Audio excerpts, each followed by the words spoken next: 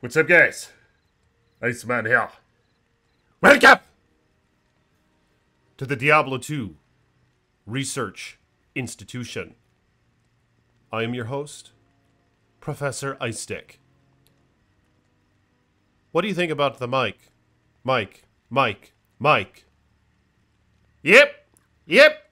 What do you think about the new mic? Yep. Uh, it's hooked up differently. It's an AT 2020 versus my old Yeti. So I'm curious what you guys think about the audio. But uh, blessings to you guys, blessings to my patrons, blessings to my channel members. Blessings to T-Von, a longtime channel member. He uh, hooked me up with this character, and I'm going to showcase it for you. Once again, only this time I want to try the cows with it.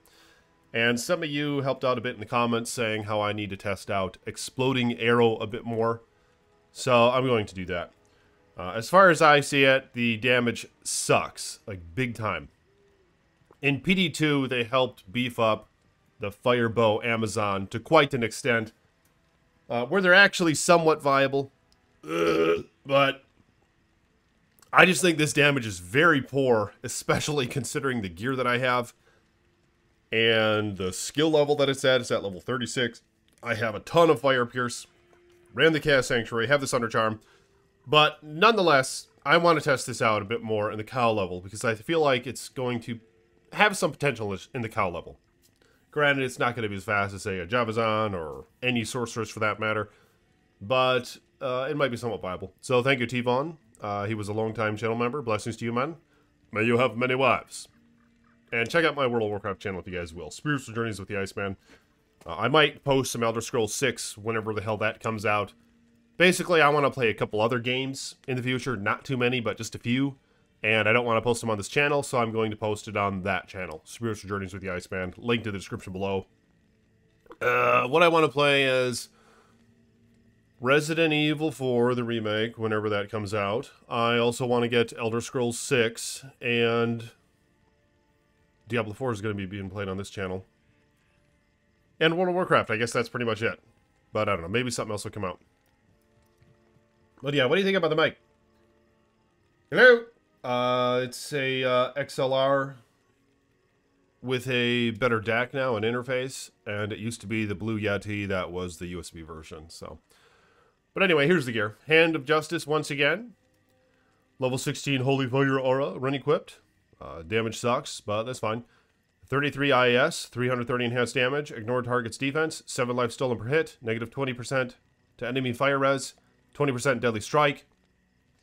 And I might compare this to, say, Phoenix. Uh, I'm thinking overall this thing might be better. I don't know. Phoenix does have a negative 28% enemy fire res. It also has the redemption, uh, redemption aura. But hell, maybe it'd be a close call. This has the IS, which I don't believe Phoenix has any IS. Flickering Flame, for obvious reasons. The 3 to fire skills is pretty damn godly. And negative 10% to enemy fire res. And then this godly armor. Uh, it's got to be the most expensive piece on this character. Jeweler's Dusk Shroud of Stability. 24 fast rate recovery. Some fire damage. And negative 20 to enemy fire res. And plus 20 to fire skill damage. Also have a High Lord's Wrath. Uh, maybe a would be okay. What is my IS at? Um, so the increased attack speed is at 73. I gotta look up the breakpoints. I might be missing a, a, a key breakpoint right there. I'm not sure. Plus 20 to fire skill damage and negative 50 to enemy fire res. And I also have a Merc with freaking Infinity. Alright. So I have War Traps, have Ravenfrost, Razor Tail, so I do have 100% Pierce, Manald Heal, all this other crap. I mean, let's see how well this character fares in the cow level. And I can teleport, I have Najas on Switch. Okay, here's some cows. Oh my god! It sucks! Yeah, unfortunately, it still kind of sucks. Uh, as anticipated. I hate to say it, man. As anticipated, it still kind of sucks. Um, it can do it, right? It can do it. But you see all the currency in this character? Well, maybe it would be cool is to have I mean, hell, even one point into Freezing Arrow. Oh my god, I do have some skills left. Hell yeah. Look at how much it sucks. Uh, and the and the damage per second is horrible. Look at the, look at the damage per second. You see that? It did like one twentieth of the cow's life on players one difficulty. Uh, so I hate to say it, but immolation arrow is pretty much useless. Uh, yeah, it does have a greater fire explosion damage than exploding arrow does, but the problem is it has a cooldown, so it's very tedious to use. Uh, what's probably the best method is to just spam exploding arrow and every like second or so cast an Immo arrow, but that's just, it's kind of a bitch. But it will give you a bit of a, an uptick in that one arrow damage, the exploding. Like I said, the, the damage per second is just useless. Um, 652 damage per second. And it lasts for 4 seconds. It's quite useless, alright? Against a boss, it'll help a little bit, but it's just damn useless. Yeah, Ice Boy's already an expert at this build. But uh, yeah, maybe I'll test it out with Phoenix. Oh my god! We got a unique item! And some claws! And a freaking Elder Staff. If only we had a Loot Filter, we could see if it's like ethereal or is it just socketed and how many sockets does it have and what skills does it have on it. But no, uh, no Loot Filter. Can. can we even drop the damn items with a hotkey? Nope. Can't even drop them out of the stash. You gotta, you gotta drag them out and drop them. Uh, but apparently they know what we need better than we do. Even though every single one of us been asking for a loot filter and some stackables and a uh, currency tab in the stash, but no, let's just give them some charms that break the game and that destroy the economy. Maybe. Maybe they don't. Do you think that the Sunder charms destroy the economy? Let me know in the comments below. As expected, I'm quite sure these are very common. And, um, but more than just the economy. You know, to hell with the economy in this game, especially if you're going solo like I do, if you take the spiritual journey. Uh, to hell with that aspect, just for conversation purposes. What about the end game aspect? Does it make it too easy? I mean, on one hand, it's nice to be able to run fire characters for once, you know? Uh, like in this example, even though it still sucks. But on the other hand, where really is the challenge then in this game? But nonetheless, this thing has a bunch of GCs, an Annie, a perfect torch, all these nice little things. Uh, these nice things right here with knockback. Let's try it again. And let me show you the damage. Well, for one, exploding arrow damage 2800, immolation arrow about 4000. Maybe this isn't the best bow for the job. Uh, and here's the fire aura tick. Oh my god, it barely does anything. Does it do anything? The holy fire? Here. Barely does anything. But uh, that's fine. I mean, it's it's style points. You can't expect that to do much. But I mean, when I have 50 fire pierce coupled with infinity, uh, maybe I'd want a little bit more out of it, but what do you guys think? Yep! Do it again. Let's get it, get it, get it, get it, get it, get it, get it, get it, get it, get it, get it. Ah, there's Melody. That's another bow you could try out. Does it have like up to six to bow and crossbow skills on it or something? Freaking Melody. Uh, more budget but you're gonna miss out on that nice 20 fire pierce. Oh, this armor is just ridiculous. Who the hell would uh, who the hell would make that honestly? But let's try something else. Dragon. Not gonna try fortitude. Let's try dragon. This has uh, an even greater. Well, it has 14 holy fire, so I believe that they stack. Uh, just some cool style point mods. 12% cast level, 15 Hydra on striking. I mean, it pretty much sucks. But you get style points for using it. So that counts for a lot. Come on, cast a Hydra. Cast a Hydra, we can, we can watch it do zero damage. There's one. Look at the, look at the Hydra. See the damage it does? Holy shit. The Hydra! Are you kidding me? I gotta bust my ass for a Lo rune and shit? And a Sur rune?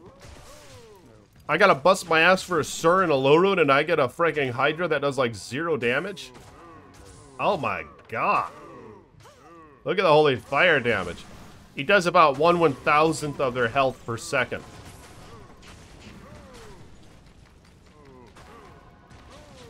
Get that Hydra. There's one. Get him. Get him. Get him. Oh my god. I mean, it's cool. It's style points, man. If, say, you wanna, like, run normal or something, uh, maybe it could kill shit in normal. Maybe it would be able to kill Fallens in the Den of Evil or something. But what do you guys think about this build? Here, I'm gonna mix it up. I'm, I'm gonna mix this shit up. Yeah, there we go. I mean, Immo Arrow is just complete ass. Look at this, 100% pierce with phrasing. It's just just style points. They freeze for like a split second. Freezes for two seconds, okay? Oh, it's always two seconds. And the radius is the same. So for freezing purposes, uh, level 1 is level 20. That's kind of cool. Uh, it's it's a bit defensive. Uh, to my understanding, you can have multiple Sunder charms on your character at once. So you can have a Cold Sunder and a Fire Sunder. The nice thing is, with the Fire characters, is that Flickering Flame is arguably, in some cases, not even arguably, it's just definitive. The best in slot item. Like we're talking about a Fire Druid, for example. Get a godly statted pelt and make yourself a flickering flame. And try to make the case that something else is better than that. Uh, point being, with how Sunder it pierces your fire res by 75 in this case, at least you get that nice aura, resist fire. See that? So that gives me, oh my god, it gives me a ton. I go from negative 65 all the way up to 41. Holy shit. It gives you a ton of fire res. I mean, really, that's something that works in the favor of the fire characters. Uh, with how much they have working against them. At least Flickering Flame has a nice fire aura. And it does affect your minions as well. Doesn't it?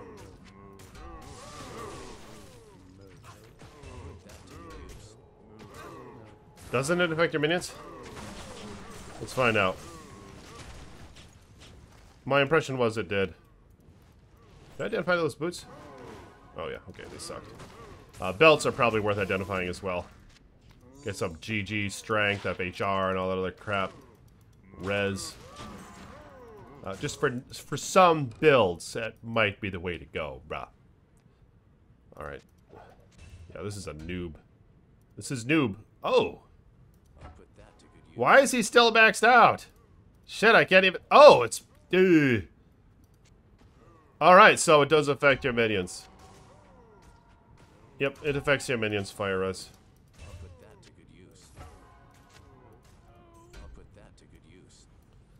That's the purpose of it, ice boy.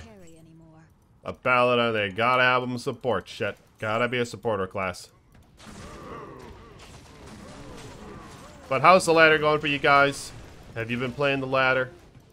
Have you found a little charm yet? How abundant are they? Uh, outside of the glitch, where apparently the Hork Barb, every time he horks a GC, like uh, it's a freaking Sunder charm. There's some glitch going on right now. Maybe that was intentional.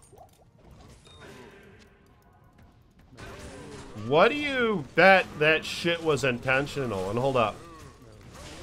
Before you make your decision. My impression was the reasoning behind these charms is that they're trying to increase build diversity. Because that's what they said. And it only makes sense. There's a bunch of characters you just can't use in this game. If you want to be in any way close to anywhere near optimal. So they say they want to do it for build diversity so that we can be excited. My my my thought was, wow, I can finally make like a fire sorceress and just start out as a fire sorceress and go through the whole game. But hold up, you got to get the charm first, and the charm you can't get till hell in the terror zones. So first, I got to run the general cookie cutter run of the mill character slash build, like a hammer and a cold arc. Get to the end game, then get the charm, and then give it to a noob character and then I can have some build diversity, you know? So they kind of tried to do two things at once with it. It's like it's like combative ideologies. Because while they wanted to be kind of hard to get and supposedly be rare or something, or people were like, oh, these are gonna be worth like more than infinity, but I knew that was complete bullshit. Because I knew they were going to make these things abundant. Just like how Gheed's is pretty abundant, Gheed's is pretty common. I knew this shit was going to be abundant. Because in addition, they wanted to increase build diversity, and they know people don't want to bust their ass for endless hours just to get the Sunder Charm, just to go back and finally try something new in Diablo 2. Being like a Fire Sorceress or a Fire Druid or whatever uh, that are just more viable than what they used to be, and potentially even run the game from normal as that, because these things don't even have a level. They do have a level requirement, level 75. Uh, what if they need to take that away? That's odd, but okay, so they do. It, it just seems like there's uh, there's maybe some combative ideologies behind these charms. Because I, I don't think they really want you to try that hard to get them. You know, because they want you to have them so you can experience the new content. You can finally run the game with a different character. But they also want you to work a little bit for them, but not too hard. Because if you have to work too hard, just not as nearly as many are going to get them. The, the general player is just going to quit before they ever get them. And then they're not going to be able to experience this new content. So there's like competitive shit going on here, man. I wonder if they intentionally made that glitch. Where the guy just horks them up they're like, hey, let's. They're like, we fucked up. They're like, we had two ideologies going against each other here, and uh, it just doesn't make much sense what we did with these charms. So let's make a glitch where the barb can just hork a bunch of them, and the economy just gets saturated the hell out of with these things, so all the noobs can get it. How would they miss that? You know, that was probably on purpose. Well, that's fine. Just saying, it was probably on purpose. What do you guys think? I'm not talking shit about it. Like I said, if they're to do it, they might as well let you find the damn thing in normal. Like in Path of Diablo, for example, uh, they had the charms that would modify your skills, right? Like you'd have Magic Arrow, you put the charm on, and all of a sudden you'd be shooting like three Magic Arrows out at once, okay? Uh, in which case, it helped change up your build a little bit and what you're going for as a build. So they gave you him in normal. You'd fight Nihlathak and he'd, he'd potentially drop these charms. So people would go to normal Nihlathak and kill him. And then you could run the rest of the game, the rest of the spiritual journey, uh, with this new build you're going for, you know? So I thought that was kind of part of their half ideology with these, only they were divided, man. They were kingdom divided, dog. So they're like, uh, I don't know. I mean, let's give it a level 75 requirement anyway just because we don't really want to think this through too much. So they gave it a level 75 requirement. But if they're to do it, my thoughts were they should let us find these, this shit in normal. Because then you could actually run the game, the spiritual journey, take the spiritual journey with a different build for once, you know? Because this really didn't solve that issue. It didn't solve the issue of running the game with a different build for once. It just makes us run the same shit to get to the end as quick as possible, as quickly as possible, to attain the charm, to then maybe either respec or make a new character that you always wanted on the game with. That just didn't make sense at the time uh, because of all these immunities. But anyway, let me know what you guys think about this, Zon, and uh, more videos to come. Peace be with you.